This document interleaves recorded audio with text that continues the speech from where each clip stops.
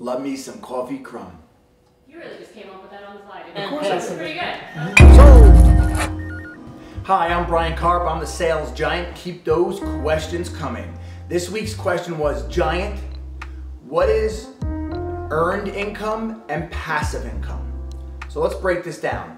Passive income is money that comes in with very little effort. Passive income for Jessica and myself is our rental properties, nicknamed mailbox money. We go to the mailbox on the first and collect the rent checks. That's passive income. Earned income is income that you trade your time for. So that is like your job. You are a teacher, you are a firefighter, you are an engineer. You go into work, you give your job or your employer your hours, and they hand you money for it. That is actually the most taxed income is earned income. What the giant recommends is that you live off your passive income and you save your earned income. And what do I mean save your earned income? Save your earned income and then purchase assets like rental properties that give off passive income.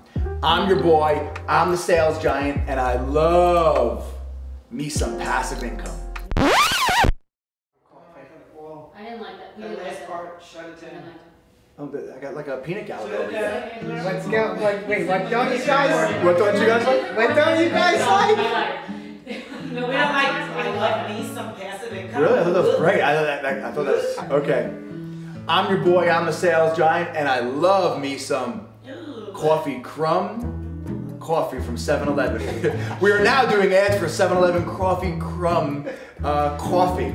They haven't paid us yet, but if they check this out, I'm gonna bring it full circle to my people. If I bring it full circle, once they decide to pay the sales giant, once we make this video once, they keep running it, I will make royalties. Royalties is passive